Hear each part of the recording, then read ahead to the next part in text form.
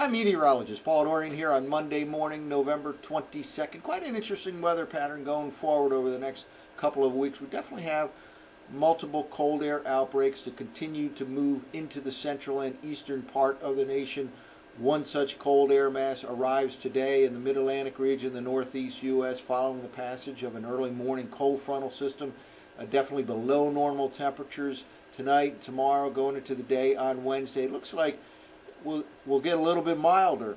Back up into the 50s on Thursday, Thanksgiving Day, but that's just ahead of the next cold front that ushers in another cold air mass for the Friday and Saturday time period in the northeastern quadrant of the nation. And there is a threat of interest to me about a week from now, early next week, for the Mid-Atlantic region. We'll talk about that over the next few minutes of talking about uh, roughly around Monday, November 29th. Here's a look at the temperatures across the nation, the temperature anomalies across the nation for the first 20 days of November, generally at or below normal in the eastern half of the nation. And that kind of a trend should continue over the next eight days or so, right through the end of the month of November. Here we are on November 22nd. I'm talking about going through uh, to November 30th. Right around normal in the big cities along the I-95 corridor region of D.C., Philadelphia, New York City through the 20th of November. But again, uh, uh, multiple cold air masses probably will help to trend these temperatures to below normal uh, for the, month as a whole. Out in the west, first 20 days above normal for the most part. That kind of a pattern should continue as well over the next week or so. Well, before we get into last night's operational run of the GFS, I want to talk about a couple of uh, teleconnection type indices. First of all, the North Atlantic Oscillation, and then we'll look at the Madden-Julian Oscillation. The Madden, the MJO, the Madden-Julian Oscillation uh, uh, involves a tropical disturbance that kind of propagates around the world, and its uh, particular phase can have uh, can give some signals as to temperature and precipitation patterns across the U.S.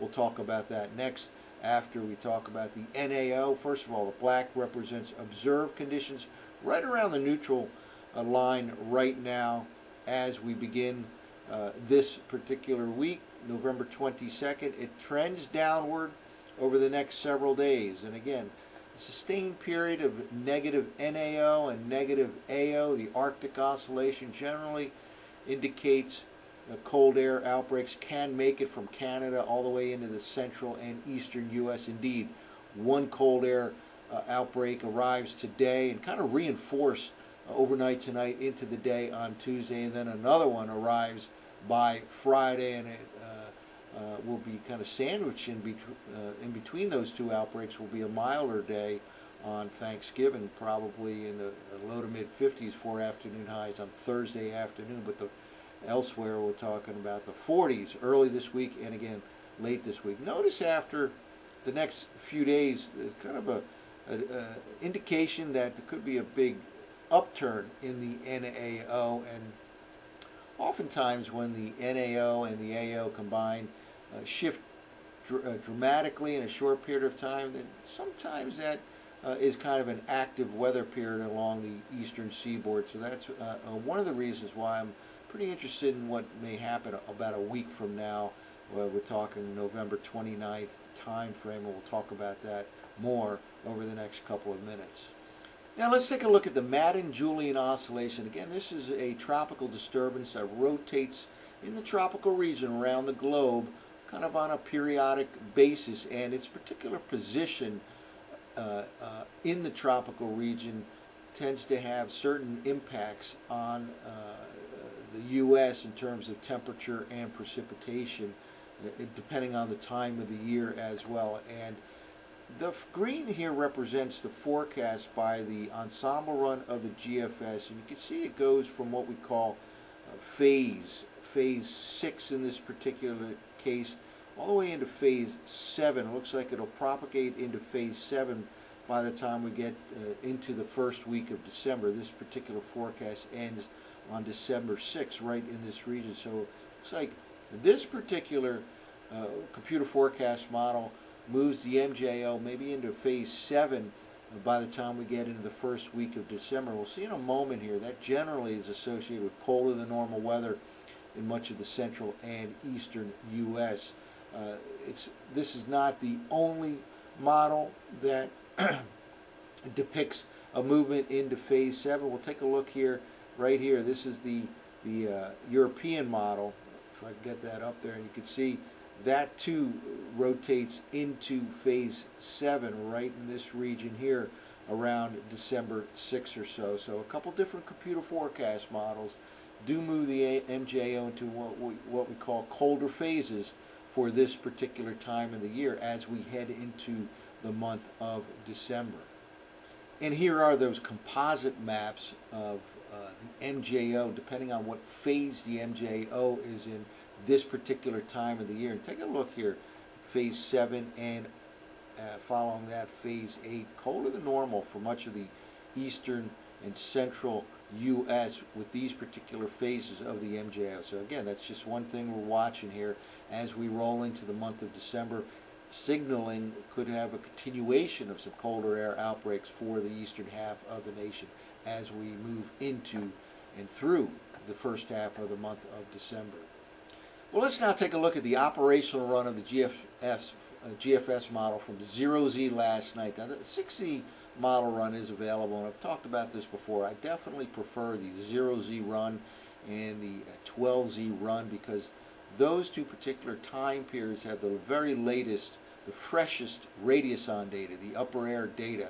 When you get to the 6Z runs and the 18Z runs, they are important, but they have kind of stale upper air data the radiosonde date is six hours old. So uh, generally like to focus in on the 0Z runs and the 12Z runs. If something dramatic changes at 6Z, then you have to look for confirmation of that at the next run, the 12Z run for example. So again, one of the reasons why I tend to focus in on the 0Z run, even though again the 6Z run is available at this particular time of the morning. Let's look at the 850 millibar temperature anomalies. And here we go with a a blob of colder than normal air moving across the Great Lakes this morning into the mid-Atlantic region. Again, a cold frontal system is just now sweeping off the eastern seaboard and it will stay windy and cold in much of the northeastern quadrant of the nation uh, through the day today, into the night tonight, and all day on Tuesday. Windy and cold, well below normal for this time of the year. Things do ease up at midweek. Here we are now Wednesday morning, the colder than normal air mass kind of grudgingly working its way off the coast, still remaining colder than normal likely on Wednesday in the Mid-Atlantic region, the Northeast U.S., but the winds will be much of a, less of a factor as they will be later today, tonight, and Tuesday. So Wednesday, let's say, will be cold but less harsh. And then Thursday, kind of a brief break to above normal conditions, perhaps back up into the middle 50s for highs in places like D.C., Philadelphia, New York City, following the cold uh, first half of the week. that warm up on Thursday, Thanksgiving Day, will be short lived, however. Look at a, this upstream by the time we get to Friday morning. Yet another cold air outbreak reaches the eastern part of the nation, and again, another windy and cold day. Maybe some rain showers early in the day with that next frontal system. Then things get a little bit interesting here, uh, in my opinion. It stays colder than normal into the upcoming weekend.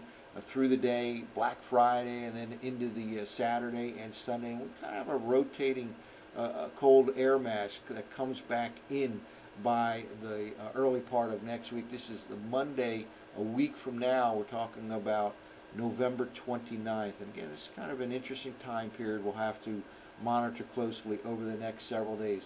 Much like the first 20 days of November, it stays warmer than normal out in the western half of the nation, and generally uh, colder than normal in the eastern half. Again, the one exception day might be Turkey Day itself, itself on Thursday. Well, let's now take a look at the 500 millibar height anomalies, again using the 0Z run of the GFS. Uh, this is a, a, a, deep upper level low over the Great Lakes region this morning associated with that cold air outbreak that's reaching the mid-Atlantic region right now as we speak. Now let's move forward here. Uh, notice the uh, upper level low kind of stretched out along the eastern seaboard as we begin the day on Tuesday. And winds will be very gusty later on today out of the northwest tonight and all day on Tuesday. And then we see this upper level ridge here that uh, cuts across the nation and reaches the eastern states at uh, midweek and into the day on Thursday. This is a Thursday morning forecast map. Probably some sunshine, probably in the 50s in DC, Philadelphia, New York City. But upstream already another upper level low.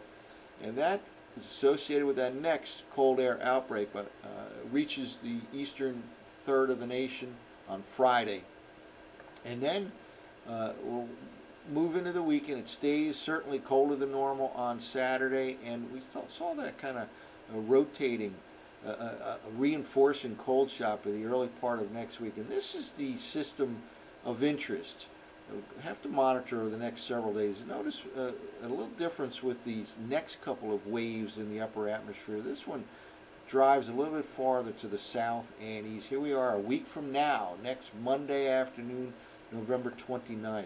This is something we'll have to monitor. Again, if it can manage to dive a little bit more to the south before it makes the turn along the eastern seaboard, things could get interesting interesting uh, about a week from now in terms of a potential storm along the uh, mid-Atlantic coastline. Something we'll have to watch over the next several days.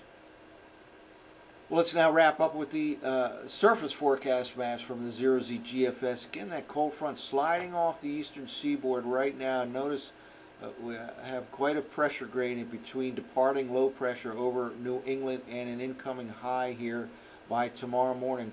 Pretty good uh, pressure gradient here, and again, strong northwest winds later on today, tonight, and tomorrow, much below normal temperatures. Maybe some isolated snow showers south and east of the uh, Appalachian Mountains over the next 24 to 36 hours or so. Then things get a little bit uh, calm, calmer by the time we get into midweek. Still cold, but less wind, less harsh conditions on Wednesday. Very good day for traveling, by the way, and, uh, throughout the eastern half of the nation, across much of the nation, as a matter of fact, on Wednesday. Then we get a little bit of a warm-up on Thursday right here Thursday afternoon, some sunshine, probably in the 50s for highs in the mid-Atlantic region. Then the next cold front arrives late uh, Thursday night going into Friday morning, and here's another cold air outbreak for Friday uh, and into the day on Saturday. And again, kind of a reinforcing shot of cold air by the time we get to Monday. And here we go. This is a little bit of a system here over the Great Lakes by Sunday night associated with that next upper level low and it does try to form a storm off the uh, mid-Atlantic coastline by the time we get to Monday. And again, we're talking speculation phase here a week from now, November 29th.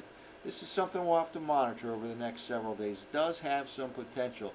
If that upper level system can dig a little bit farther to south and east, we may be dealing with something of interest here about a week from now, November 29th. That's it for now. I'm meteorologist Paul Dorian.